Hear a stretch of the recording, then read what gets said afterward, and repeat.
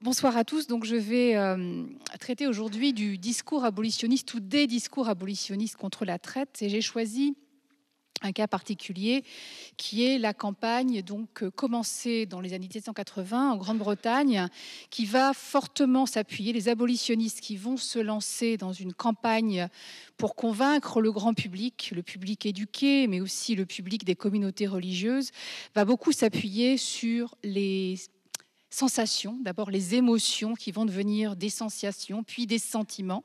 Et donc on va osciller entre haine, la haine du planteur, et la compassion pour l'esclave. Donc, dans le discours abolitionniste, j'entends à la fois le discours, bien évidemment, mais également les images qui vont être utilisées et d'autres objets qui vont parfois marquer les esprits et qui vont nécessairement amener, enfin, c'est ce que souhaitent les abolitionnistes, ceux qui vont les écouter à réagir. Comment Généralement en signant des pétitions, des pétitions qui vont aboutir au Parlement, où on espère que le débat sera porté donc euh, dans l'espace de la Chambre des communes pour commencer pour aboutir enfin à la fin de la traite. Donc les abolitionnistes britanniques vont d'abord choisir de euh, lutter, enfin de, de dénoncer la traite et on vous a expliqué un petit peu pourquoi la violence, bien évidemment, de la, cette manière de, comment transporter des esclaves. Alors, il faut savoir que les Britanniques sont les champions de ce transport d'esclaves dans les années 1780. Euh, cela fait plus d'un siècle qu'ils sont, euh, qu'ils dominent le marché, euh, qu'ils voilà, qu'ils ont armé les bateaux depuis 1798 et à la fin de la traite en 1807, lorsque le Parlement finira quand même par abolir cette traite dans l'espace britannique, on sait que trois 3,5 millions d'esclaves auront été transportés par des bateaux britanniques.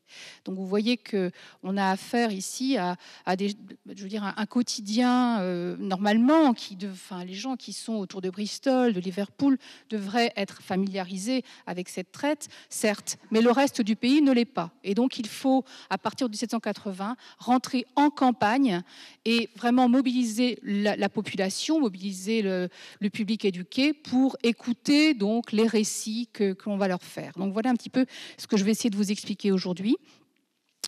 Euh, je ne sais plus comment je descends. Je descends ou je descends? Ouais, c'est ça. Alors, il y a une première chose, bien évidemment, vous allez me dire, mais pourquoi 1780 Pourquoi ces années-là Alors que je viens de vous expliquer que ça fait un siècle que l'on transporte des esclaves et que les négriers partent de Bristol, partent de Liverpool, partent de Glasgow? Eh bien, tout simplement parce que euh, l'apathie, euh, l'indifférence, euh, on consomme du sucre, on consommera plus tard du coton, sans trop se poser de questions, sans trop savoir d'où ça vient. Et puis, il y a peu de textes publiés, on entend parler d'eux, on sait que.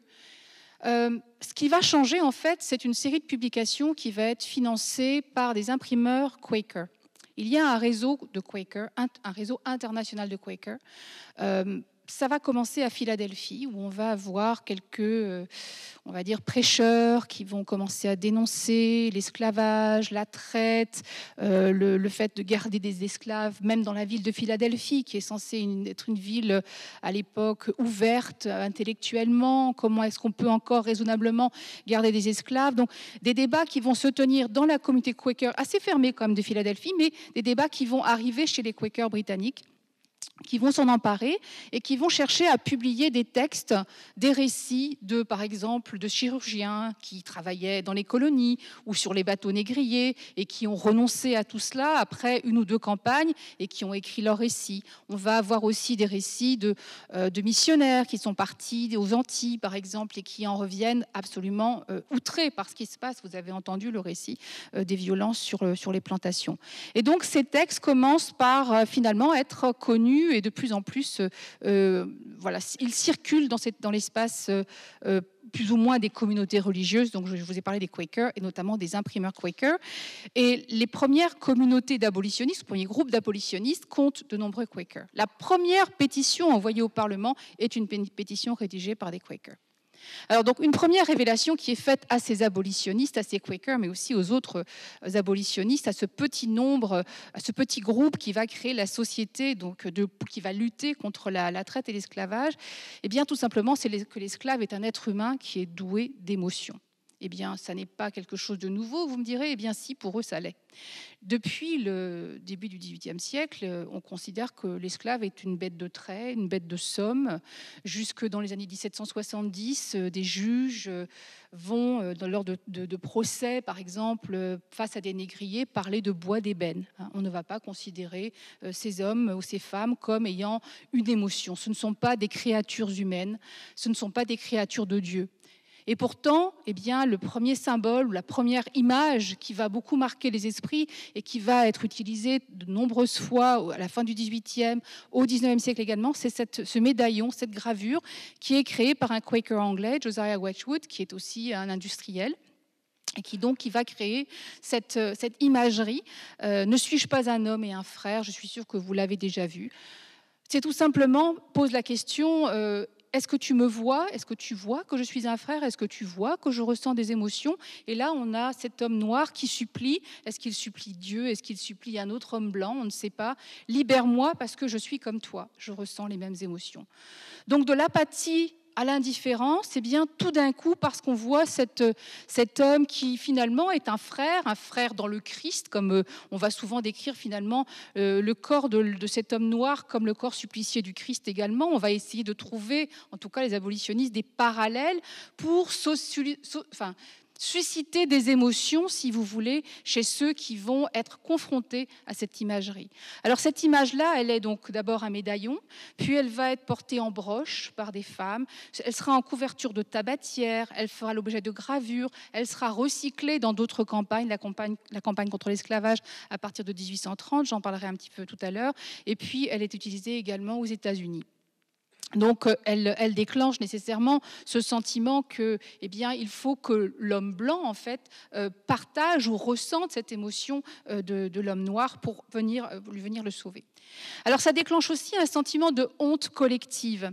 Et c'est ce que veulent faire les abolitionnistes. Eux-mêmes, à partir du moment où ils comprennent que l'homme noir n'est pas une bête de somme, mais bien un être humain doué d'émotions, eh bien, forcément, on a une sorte de réflexion collective qui se dit, mais shame on us, mais quelle honte et c'est cette honte-là qui doit normalement déclencher l'action politique.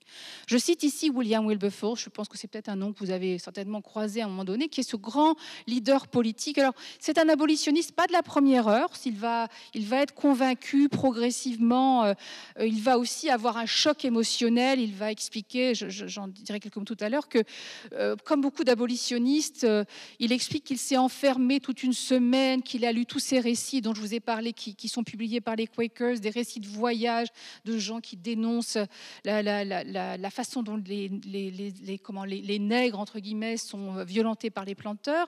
Et lui-même a un choc physique. Il est malade pendant trois jours, il vomit, enfin, il, y a vraiment une réaction physique chez Wilberforce. Et donc, ça va lui l'engager finalement dans ce combat. Ça, c'est un discours au Parlement. Il va en faire deux grands discours au Parlement. Le tout premier, quelques années auparavant, qui va lancer le débat, et celui-ci qui est euh, euh, juste après euh, la Révolution française, où on va commencer à, critiquer Wilberforce hein, parce que Wilberforce a, eu tendance, finalement, a eu envie d'aller voir les Amis des Noirs. Alors, il n'ira pas les voir directement, mais il, maintient une relation avec les Amis des Noirs en France et il essaye de leur expliquer comment, en fait, ils peuvent susciter des émotions, justement, chez le grand public. Bon, on est en 91, donc il est un peu tard, on est en pleine Révolution française, c'est un petit peu compliqué d'aller vers le public français pour leur faire ressentir des émotions. Donc je reviens à ce que dit Wilberforce. Il explique en 91 au Parlement Nous avons déjà remporté une victoire. Nous avons obtenu pour, ces, pauvres créatures la reconnaissance de leur nature humaine. Donc on est en 1791, hein, qui pendant un certain temps a été refusée de la manière la plus honteuse. Donc à nouveau, honte à vous, parlementaires, d'avoir longtemps douté que l'homme et les femmes noires qui ainsi étaient transportés et violentés sur ces bateaux, par exemple, étaient juste des pauvres créatures non douées de sentiments. J'ai barré un peu plus haut la notion de raison. Euh, pourquoi? Parce que, euh, en fait, tous les écrits que l'on connaît, nous, Français, les philosophes qui, pendant dans ce siècle des Lumières, ont commencé à réfléchir à, comment arrêter l'esclavage, comment convaincre les gens, on utilisait beaucoup la raison en France ou l'ironie eh bien, ces textes-là n'ont jamais pris corps en Angleterre, n'ont jamais euh, été l'objet de débats ou de questionnements. Ils sont restés en Grande-Bretagne sur leur propre démarche, on va dire, donc faisant appel aux sentiments. Je vais vous en parler tout de suite. Donc, les, premières émotions, en fait, sont donc ressenties, comme je vous le disais, par les abolitionnistes eux-mêmes, et ils vont avoir envie de passer ce, cette, douleur physique, ces émotions, ce dégoût du planteur, ce dégoût du négrier, cette tristesse également qu'ils éprouvent, et cette compassion. Donc ça commence pour tous les abolitionnistes, en tout cas ceux que j'ai lus et qui racontent ce moment où, bing, la lumière fut, où tout d'un coup ils se rendent compte que, eh bien, il y a de la violence dans tout ça, et que tout ça est été tu pendant toutes ces années. Donc il y a vraiment un choc moral on est sur un terreau, bien évidemment, religieux, protestant. La, notion de morale est, très importante. On est au le, siècle des Lumières en, Grande-Bretagne est très inspiré par les philosophes, les philosophes écossais. Les philosophes écossais pensent que un homme de qualité, c'est quelqu'un qui a des sentiments. Un homme de qualité ou une femme de qualité est capable de se projeter dans l'autre, dans, dans, si vous voulez, et d'avoir une forme d'empathie. Donc forcément, si vous êtes quelqu'un de l'aristocratie, ou de la bourgeoisie montante et que vous voulez être un homme de qualité, un homme de sentiment, alors vous devez ressentir cela. Donc c'est pour ça que le terreau, je vous disais, est quand même très propice à être euh, finalement euh, touché euh, par les émotions que l'on peut quand on va vous lire des récits sur les violences que vous avez entendues tout à l'heure. Donc un choc moral, un choc physique, vraiment. Euh, Thomas Clarkson, sur lequel j'ai travaillé, qui était très très actif dans ce mouvement-là, à un moment donné a une sorte d'illumination. Il a lu énormément toute la semaine. Il rentre à Londres à cheval, il tombe de cheval. Voilà, quelque chose vient d'au-dessus, plus fort, et il a, la douleur lui prend dans tout le corps. Il a compris qu'il faut qu'il se batte pour euh, arrêter cette traite, arrêter l'esclavage. Donc, tous ces sentiments, ces émotions sont fortes. Comment faire passer cela? Comment le véhiculer On va le véhiculer en faisant ressentir des émotions également. Ici, j'ai pris le cas d'un poème très très célèbre, très connu, Les pleurs de Yamba, 1795, euh, rédigé par Anna Moore, qui a été une de ses premières femmes abolitionnistes.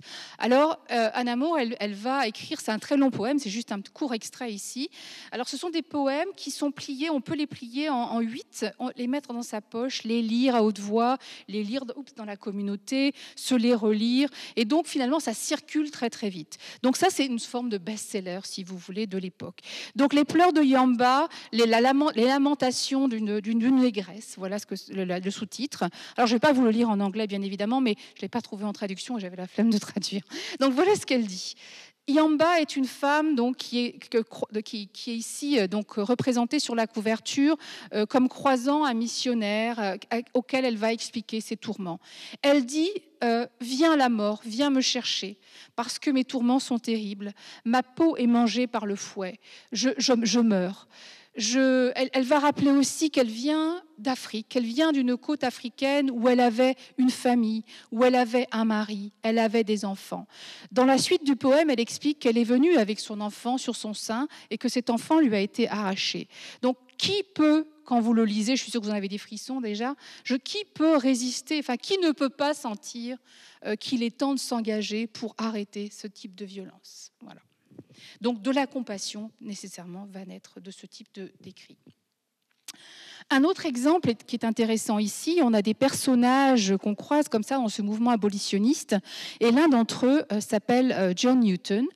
Euh, John Newton, c'est quelqu'un qui était négrier, et qui un jour, alors qu'il était perdu dans la tempête avec son cargo d'esclaves, s'est cru perdu, il a prié Dieu, Dieu lui a répondu, l'a sauvé, a sauvé le cargo, mais il s'est juré que plus jamais, plus jamais, il ne lèverait la main sur un esclave, plus jamais il ne traiterait, parce que le John Newton, il peut être très bien être cet homme que vous voyez, hein, qui fait euh, danser à coups de fouet les esclaves, soi-disant pour leur donner un peu d'activité physique. C'était lui, en fait, cet homme-là. Donc John Newton, il va euh, se convertir et devenir un pasteur de l'Église anglicane, qui va devenir quelqu'un, une célébrité en fait. Il va beaucoup aller dans plusieurs églises, il va porter cette parole-là, raconter son récit, il va écrire également ses pensées. Voilà ce qu'il écrit, je vous lis en anglais, je le traduirai après. It will always be a subject of humiliating reflection to me that I was once an active instrument in business at which my heart now shudders. Ce qu'il explique ici, c'est que c'est la honte en fait qui le traverse.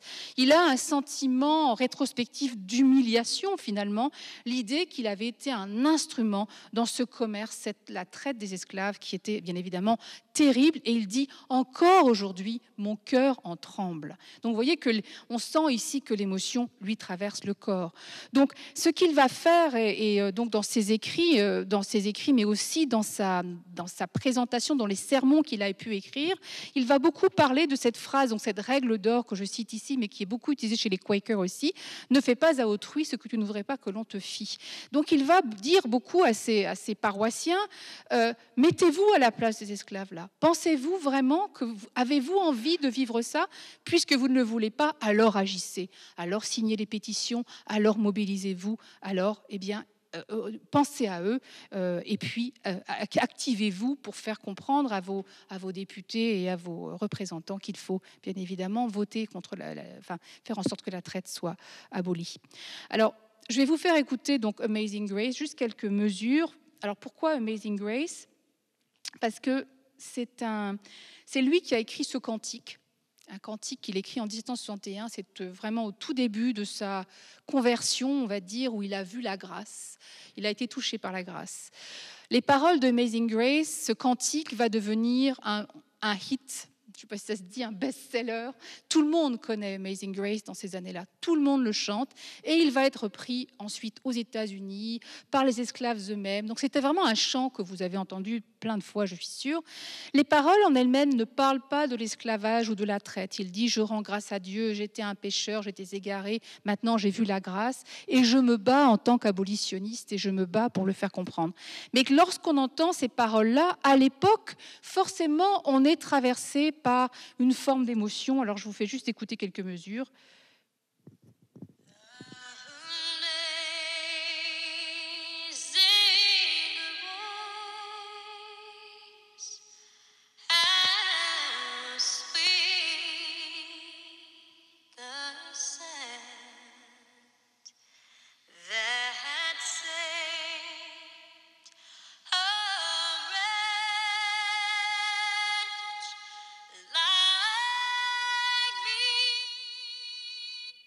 Donc il a été mis en musique en 1772 et il est chanté à chaque fois qu'il y a des réunions publiques, que les abolitionnistes se déplacent. On va chanter cet hymne-là, qui est très émouvant. J'imagine que vous l'avez ressenti également. Eh bien, ces mesures-là, bien évidemment, forcément, l'esprit s'égare et on pense euh, euh, à ceux qui sont euh, transportés sur ces bateaux et qui subissent la violence des négriers.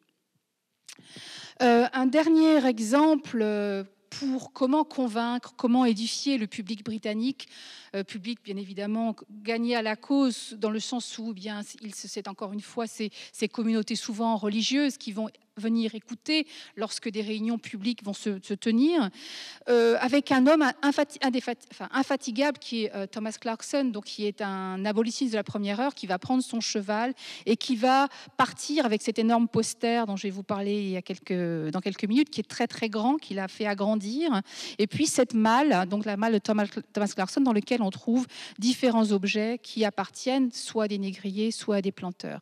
Et donc Thomas Clarkson, pendant deux ans et demi, va traverser l'Angleterre, va aller euh, jusqu'en Écosse pour faire des conférences publiques, souvent donc réunies autour euh, dans une église, euh, écouter Amazing Grace, souvent avec d'autres abolitionnistes locaux, pour essayer de gagner à, sa cause, à la cause abolitionniste, son public. Et puis, il va aussi essayer de toucher les députés. bien évidemment, ce ne sera pas forcément aussi efficace, mais il y en a quelques-uns quand même qui vont rester très amis avec, avec la Clarkson, surtout ceux qui, en 1807, euh, on a quand même quelques députés qui seront les leaders finalement de ce mouvement qui vont amener à la fin de la traite. Alors qu'est-ce qu'il nous présente ou qu'est-ce qu'il leur présente Il va essayer dans un premier temps d'expliquer comment les corps sont entassés dans les bateaux. Bernard vous a présenté tout à l'heure comment dans les, dans les, dans les cales ou dans les entrepôts on entassait les, les corps. Alors c'est un bateau en coupe qui a été utilisé par le Parlement quand il y a eu des réglementations sur combien d'esclaves on prend, pour combien de mètres carrés.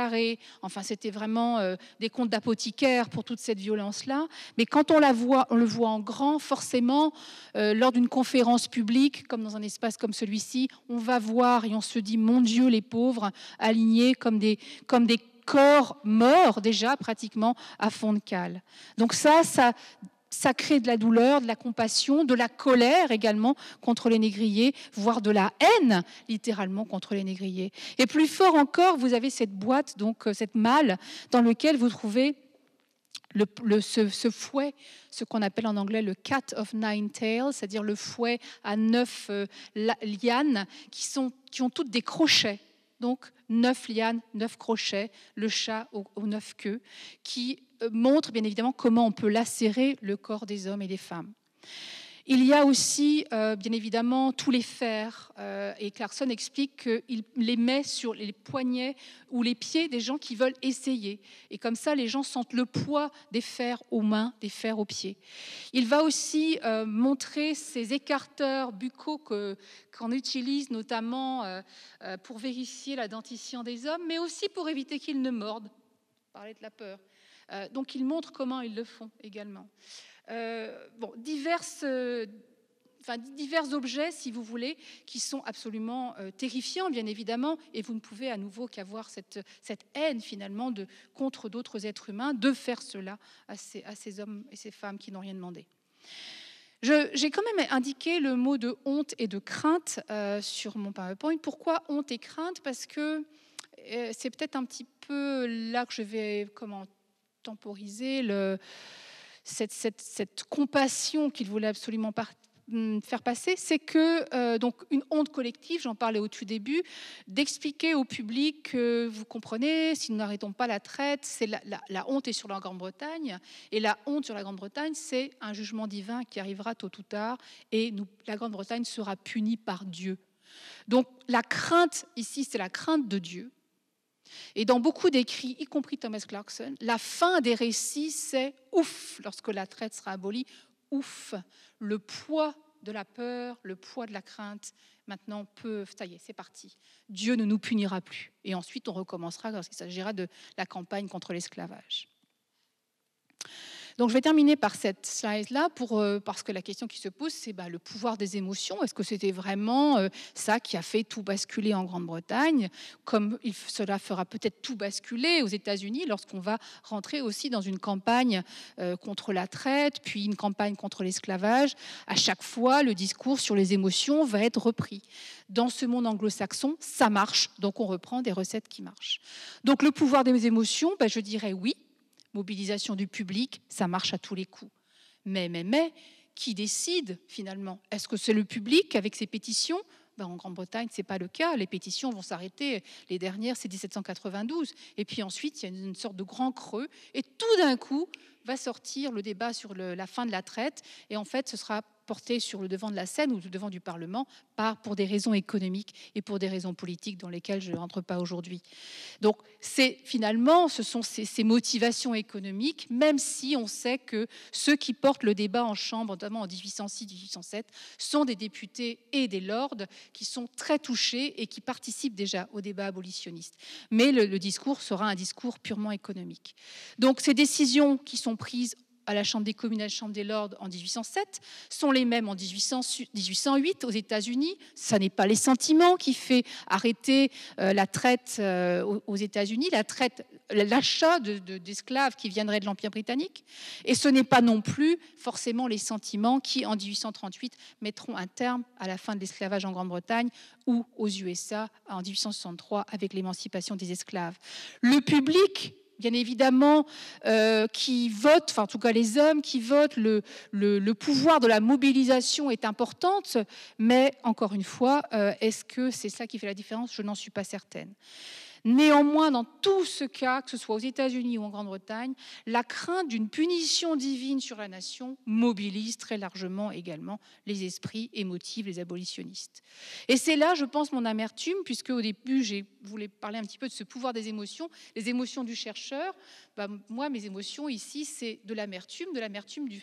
En fait, parce qu'on a souvent l'impression que l'esclave, l'imagerie dont on a parlé ici, c'est une image pour mobiliser, mais que au final, euh, il n'en reste pas forcément grand-chose puisque des décisions sont prises finalement au-dessus du public.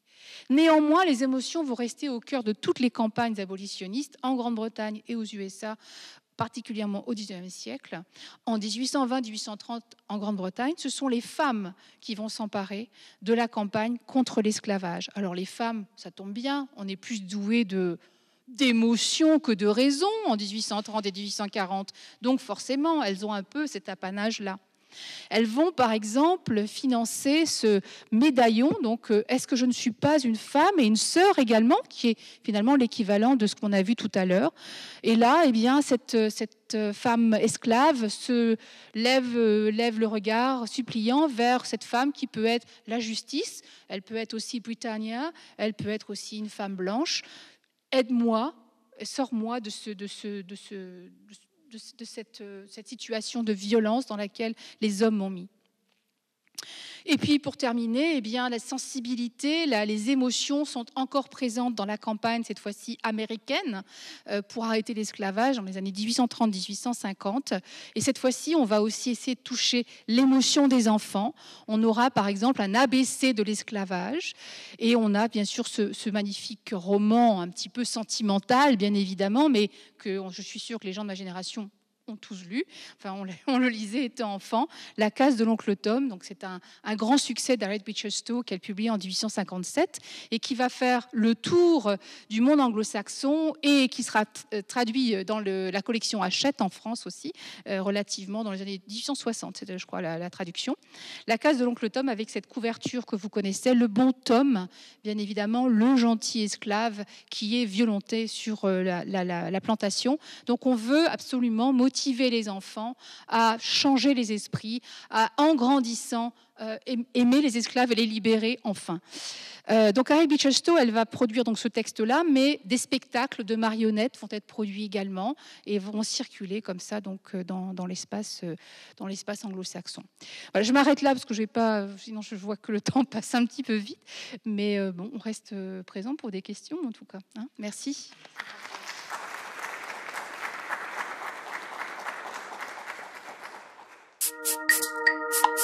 Thank you.